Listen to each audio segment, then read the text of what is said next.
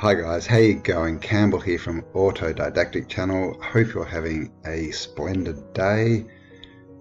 And today I thought that we would have a bit of a look at Sydney and uh, basically Sydney before it got its jewellery, before the Harbour Bridge and the Opera House were put up, what was going on in Sydney. So let's get into this.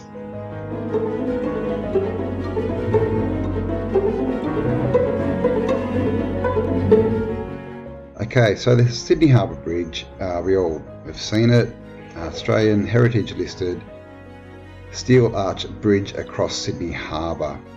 There had been plans to bridge the harbour since 1815, which of course is just uh, 27 years after allegedly the first boat hit the shores of Sydney. Captain Cook and the First Fleet arrived in 1778. They landed in Sydney and by 1815 they were talking about building a bridge.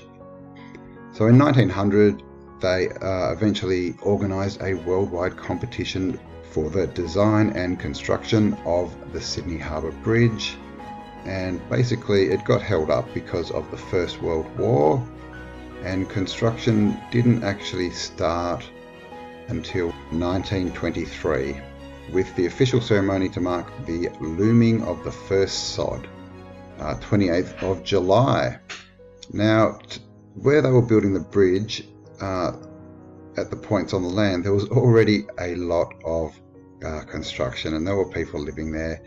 And an estimated 469 buildings on the North Shore, both private and commercial buildings, were demolished to allow construction to proceed. With little or no compensation being paid, work on the bridge itself commenced with construction of approaches and approach spans, and by September 1926 they had started to pour the concrete pillars. So that's a quick background of, the Sydney Harbour Bridge and construction. Basically, yeah, since day one they said that they needed a bridge. It took them over 100 years to get it going and basically uh, we couldn't afford it because it was a World War One. Then it went straight into the Depression, and there was no money in Australia while they were building hundreds of other buildings, of course. And so what happened is we lent loaned the money from the British Crown, and Australia. I think we paid it off in the 1990s. Okay, and here's a little look-see at um, what they demolished. Is, they, all these pictures are from around 1900, so this is 20, 25 years before they started demolishing things for the bridge. And as you'll see in this photo, it looks like they've already started to de demolish things. We've got this obvious, you know, look at the size of these bricks. This is obviously an old world building or what's left of it. And we've got some down here, but whatever's here or was here is just I don't know if they found it like this because it doesn't really look that rubbly, but that's it's an interesting shot. As you can see, horse and carts. And again, an interesting thing to notice is these buildings. See how they step down? You can see that because they're on a hill. That's how they should be built. So when we see all these mud flood buildings that have got, you know, a straight roof and but the hill still goes down and covers them up, that's that's a mud flood. This is how they should be built. So this is obviously a you know a normal hill that wasn't really flooded. And here's another shot. This one again, the same kind of thing. Just kind of looks like, I mean, if this is 1900, why would they be building houses and then, you know, the colony is only 100 years old, just over. Why would they be demolishing brick houses? Now, clearly something's happened here. And look at the size of these cobblestones. And this as well, it's hard to see the perspective with these people, but that looks like a fairly large street lamp. Um, I'm not sure if it's gas or what the deal is there. This is also, so this is all, it's Dawes Point, uh, and it includes uh, a place called The Rocks. And this is uh, part of what was there, part of the, the buildings. And as you can see, this looks like there's actually a window in there. See, there's a frame and it looks like it's yeah, been filled in, filled up with something. Uh, this is another shot. As you can see, you know, two, three story brick buildings all the way down the road. And this is, just says Elizabeth Street, I'd say around 1900. You can see there's tram, uh, tram tracks in the ground. You know, that these roads are in a bit of rough shape. There's one person here, I think that is that a person, so there's no one around. Electricity. It's just a you know, it's a whole strange scene when you look at these pictures back. Turn a century here again, this is the same area. And again, we've got all these huge brick buildings, but why have they smashed this one down? And just notice the size of the bricks compared to these people. And they look, I know these are in the foreground, but they just look larger than normal, don't they? And what are they doing? What are all these people doing? Uh, so this is what they knocked down. Here's a shot. You can see it was completely built out. It was terraced down to the water. You know, big three-story brick construction everywhere. In the background over here, there's a huge cathedral. And over here, you can see more spires popping up. So this is around 1900. Sydney another one. And this is what I've something else I've noticed just in these photos, but I'm starting to notice it. Is these walls. A lot of things seem to be built up. You can see that's brick construction. You can see here the lines. And look at these buildings. Smashed windows, no windows. The doors look, they just look like they've been boarded up. No roof on this one. This one's got a roof. This one hasn't. This one hasn't. Is that, I don't even, is that a hole or crack? I'm not sure what that is, but look at these buildings. And this is 1900. So look, I mean, this is, you, know, you don't smash windows like that if you're taking buildings down, or obviously if you're building them. I mean, these look completely found. No roof. And this is what we see so often is they're not building these buildings, they're finding them, founded, right? they find them, uh, find cities and they say, yes, and now it's founded. They find these buildings and then they renovate them, right? They renovate them, but it's renovate, it's a law term.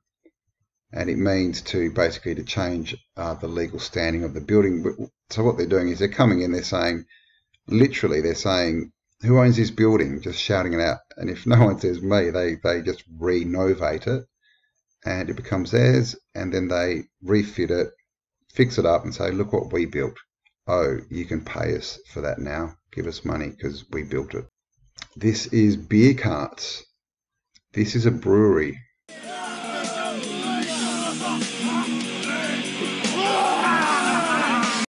Here. Got all the workers. Obviously, this is uh, late 1800s.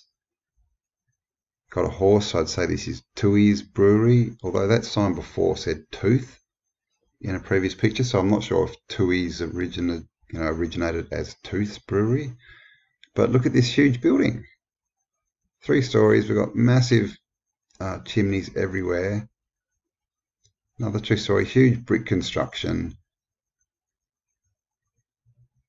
And really, all they've got is horse and cart. This is how they can deliver the beer. This is the best it got. But they but they can build this.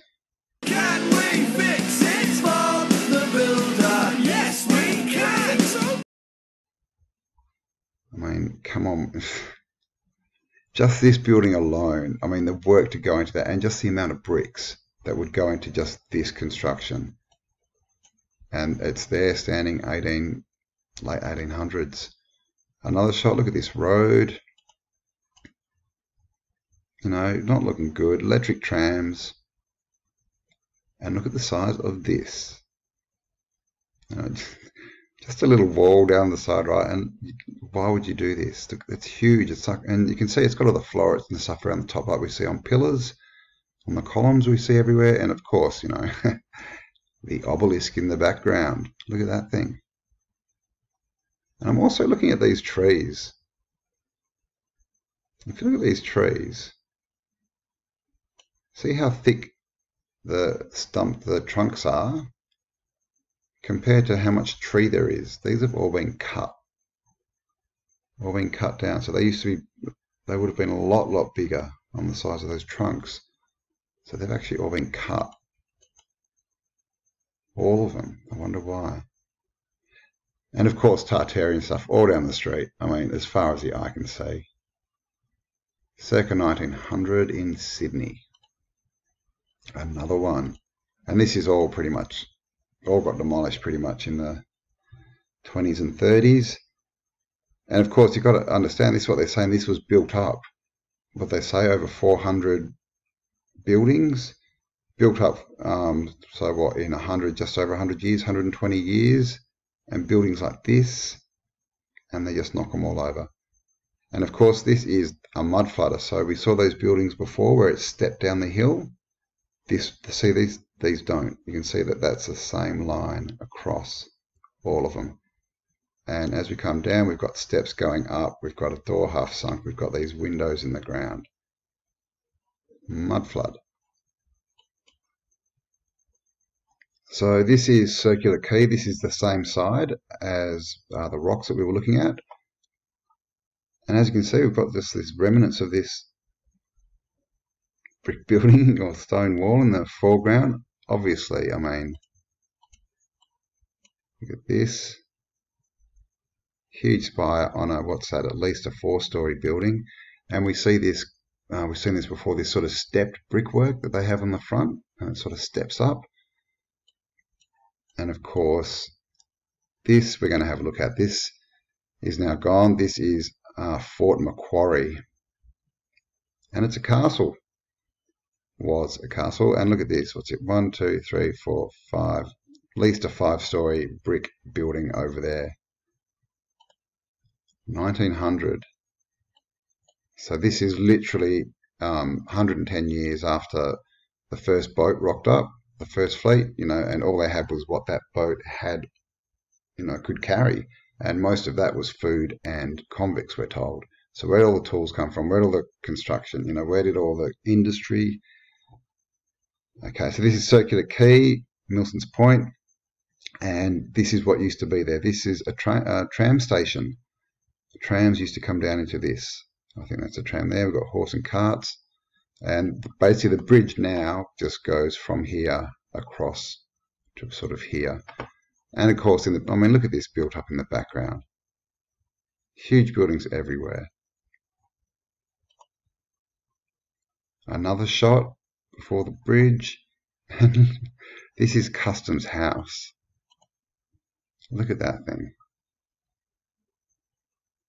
And of course, just, I mean, it's just completely built out.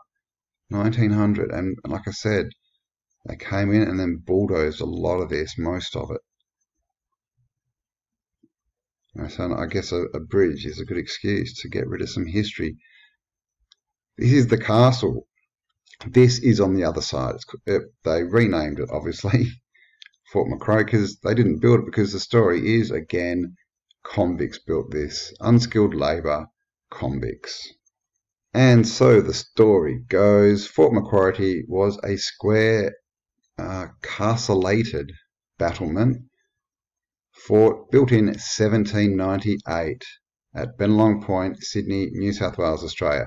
1798, 10 years after the first ship rocked up with nothing, just food and convicts. And they say that they just started building castles within 10 years. A half-moon battery on the east point of Bennelong Point was constructed in May 1798 when the ship HMAS Supply was withdrawn from service. Lieutenant William Kent and crew were assigned to the main battery. The battery supposedly consisted of some guns taken from the HMAS Supply, though these were too few and too small to be of much use. What were they defending against? This was a brand new colony, 10 years old. What were they, who were they defending against? By this time, the Dutch had given up, the French had given up. No, they had, no one was competing to settle Australia. And they say they were building castles in Sydney Harbour 10 years after they landed to what? defend what? This is just silly. Apart from the fact they didn't have the skills, the industry, anything. I mean, this, let's have a look. Does that look like glass? I mean, these could be retrofitted, but why would they be making these clearly glass frames in the side of the building if they didn't have glass? You know, what did they say? Oh, well, we'll have glass in 80 years, guys. Let's just get it set up now because they're not retrofitted. You know, we're told that castles had these, you know, the slits. Oh, yeah, they've got slits to let light in. I mean, it's just silliness. And look, I mean, and look, they don't look at the wall. All this would have had to have been constructed. The whole deck it's sitting on, that's a seawall. Look at that, straight into the water. And you can see it's all block construction. And it's got all the usual, you know, features of these castles. Built by convicts. Governor Macquarie directed that a fort be built between 1817 to February 1821 under the direction of Francis Greenway. The fort was named after Governor Macquarie. So four years, four years they built that. The battery consisted of 15 pieces of ordnance, 10 24 pounders and 5 6 pounders. Three sides of the forts abutted Sydney Harbour. So it's literally jutting out into the water. Just like many star forts that we see. And here is another picture of the castle. And see this wall?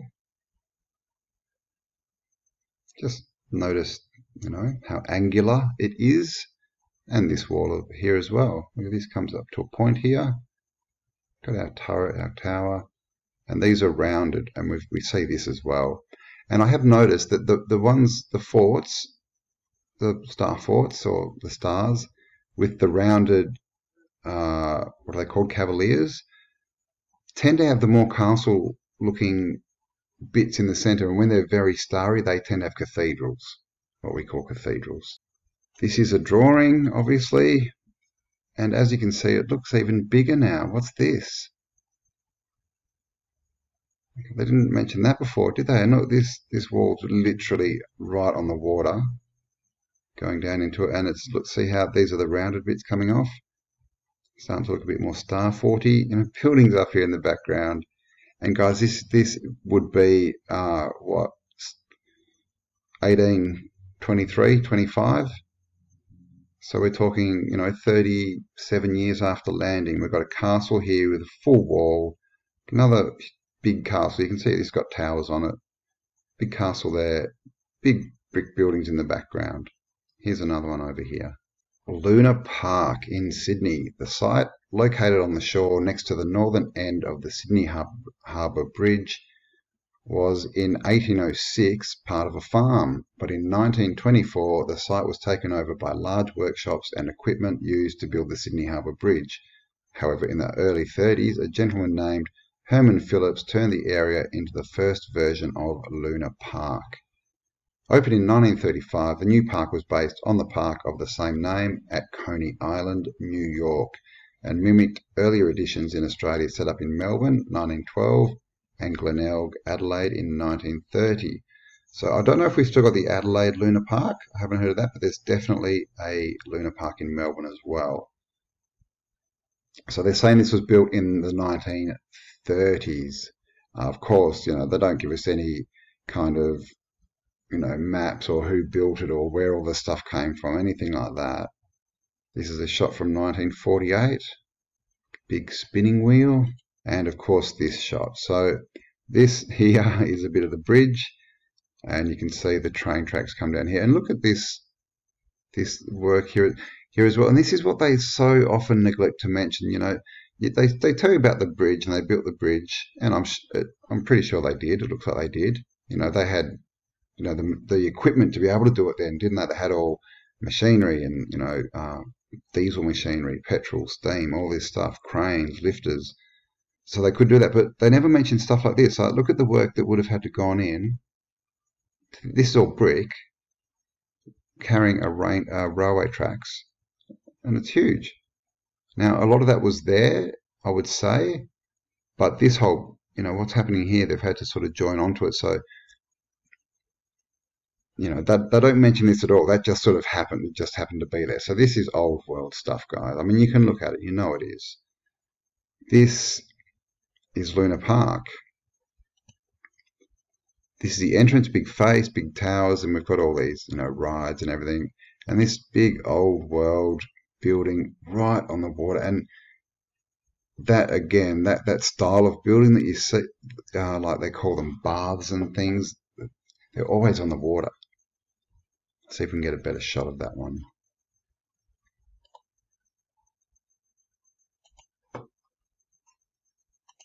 Okay, so this is the uh, the tram, the yeah trams, electric trams. So this would be this is before the bridge. They knocked all this over. See nice clock tower here, and the bridge goes over there. So this would have joined on to that uh, big train track that we just saw. Here's another shot. Again, horse and carts. This is 1900. You can see the, what they're wearing. Got this beautiful Tartarian train tram station.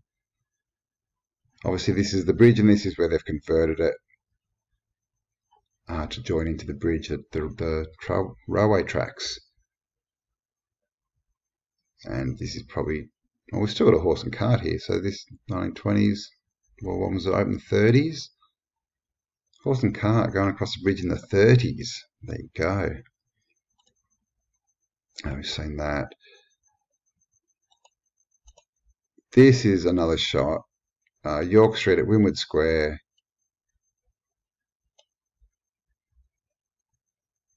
No. No date, but you can see horse and buggies. So probably, you know, early 1900s. But just look at but just look at these buildings. One, two, three, four, five stories. And all the way down the street. Huge domes down here. And just shoulder to shoulder huge buildings. Look, there's even a dome up here. Is that a dome? There. Um, and of course, they whack their, you know, their crappy advertising on everything. Try to re-brand everything, like like the front of this. It's probably been added. They do that a lot in Australia. They add these verandas to change the look. But I mean, just look at that. You can 1900. 112 years after they literally landed here with a ship. No industry, no nothing. And this is another shot. This is uh, the castle or part of it. I'm not sure what. So this is what we get at the front of the castle. This is, I think, the, the building that we saw in the background of that other photo because clearly it's a lot bigger and back off the water. So this part of uh, Fort Macquarie got turned into a tram station, and then they they knocked it and demolished it in the 50s. Uh, basically, this is where the Opera House is now. So, you know, this is the story. Built 10 years after they landed here. Uh, what was that? So it was early in the 1800s, or 1810 was it? Um, and then what? They had it sit there. They never used it as a fort. Turned it into a tram station and then knocked it over. I mean, it just doesn't make sense. You don't do things like that. Here's another shot. This is the Hordern's Palace Emporium. And now it's the site of the World Square. So they've knocked this over as well. Look at this building. Look at this tower here. And the work and the intricacy and, you know, got the porticos, everything you know, completely in alignment with each other. Antiquitech stuff everywhere, and of course they knocked it over. Here's another shot of the tower. And you can see here, they just come along and just cover everything up.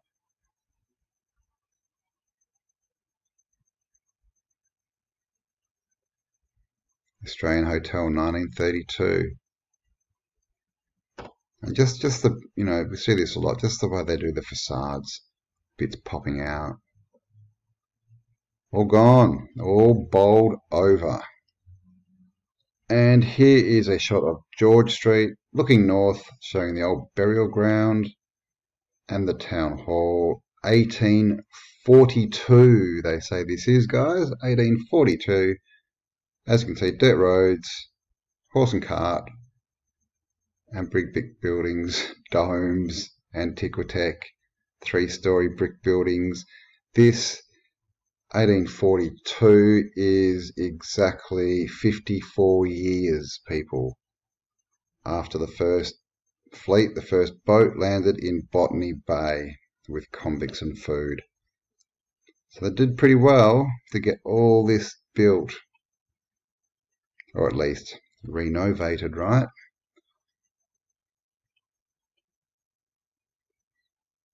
Here's another shot. This is 1946 but just look at the size of these people compared to you know the buildings. You can see this is this is the first floor. All right, look at that.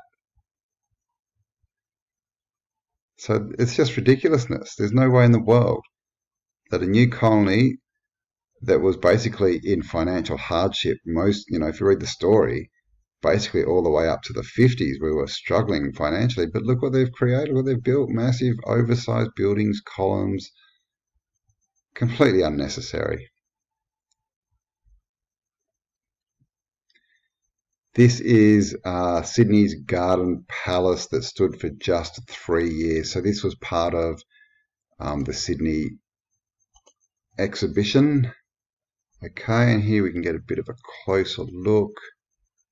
Again, just notice all these walls that are built already all across the water. And look at the size of this thing. Look at that dome.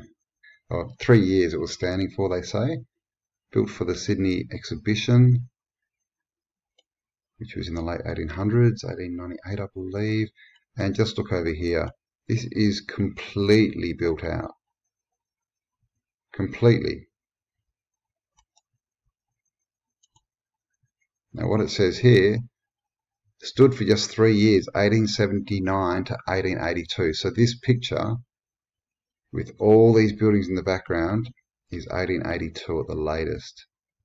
Completely, like the whole place is built out. It's just Tartaria. Look at this thing. And horse and carts to build it. Ridiculous. And this,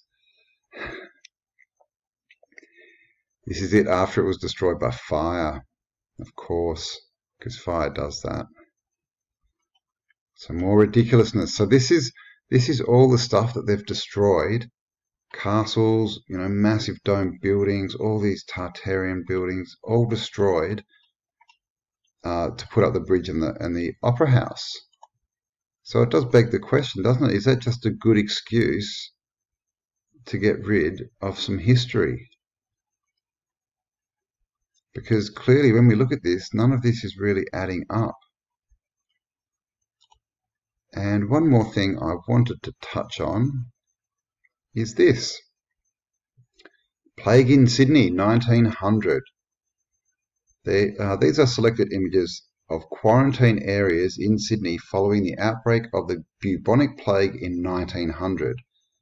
The outbreak was epidemic in scale from January to August 1900 with 303 people stricken and 103 people dying. Oh my God.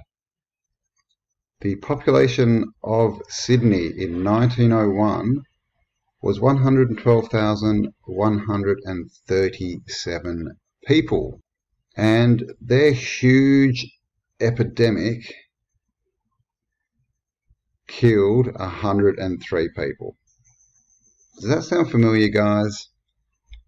Okay, so here's some photographs of, uh, is this it or is this it here? Here's someone's kitchen. People standing outside. This is what they could build, little tin shacks. So there's a huge storm going on outside if you can hear things. Uh, this is during the cleansing operations in the quarantine area of Sydney 1900 under the supervision of Mr. George McCredie. What's going on here? Look, look. Nice, you know, construction along here. Brick buildings up here, and this one is just, are they just demolishing it? And this is all just shanty town, you know, stuff, bits of tin and wood. But what are they doing to, and what are they saying? Because of quarantine, they have to destroy houses. All these people sitting on the street, no social distancing back then. Here again, you know, everyone's cordoned off and the police state's taken over. God knows what they're doing, burning stuff, dousing stuff down, destroying buildings. Got this beautiful thing in the background. So this is not a new, uh, you know, it's not a new scam, guys. Here's someone's kitchen again.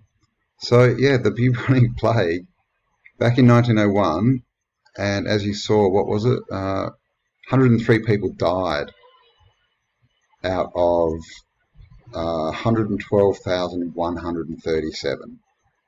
So nothing, you know, just, just like now, it's less than the normal flu probably.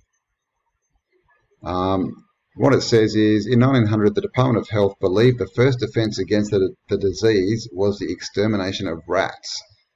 This resulted in the employment of 3,000 men at the height of the epidemic to catch and kill rats.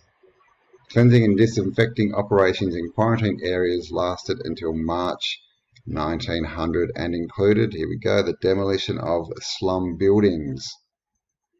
Okay, that was clearly a brick building. All the buildings we've seen knocked over were clearly brick. They're not, they weren't slums. Uh, may have been worn down and not in the best condition when they found them. Uh, but there you go. And here we just have a couple more looks at some uh, panoramas of Sydney. So this is all again uh, early 1900s, and you can just see completely built out the whole way down. Look at then just things like these steps and this balustrade and the way that's built. That's now this is stuff that never gets mentioned, even though they can't really account for any of the buildings. I mean, look, this is just completely built out. Was that a walkway? There's no cars on it. It was probably before cars. Look at this just a normal street. But again, look at the oversizedness of everything. What's this? A street pole? At the size of this guy. And of course, Tartarian buildings everywhere. Everything in complete symmetry. Couple of domes down here. Another one there. So, you know, this is not the, the story that we're told. You see the building here at Taronga Park Zoo. Another dome here at the zoo. So I wonder what all these buildings were, what all these places were, you know, what, what their original use was, because they've obviously been found and repurposed. And uh, a lot of them, you know, are castles and zoos and things and water, uh, you know, bathhouses at the beach. I mean, look at this. it's just ridiculous. Turn of the century in Sydney. You know, here's the top of a spire just in the foreground. We've got statues popping up everywhere. Huge domes, spires, you know, 10, 12 story buildings with domes on the top. All this architecture. That looks like a mud flutter. You know, big Greco-Romanesque building. It's just, and then down here we just have like a little single story building that is what they could build probably. So there we go. Bit of a walk through Sydney, you know, before the bridge and the Opera House, what it used to look like when it was found. Uh, and then they just look like they've just used some excuses to get in there and bulldoze as much of our story as they could. And they, of course, are still trying to do this. So I hope you enjoyed that one, guys. Thank you for spending some time with me. Have an awesome day, and I shall catch you on the next upload. Bye for now.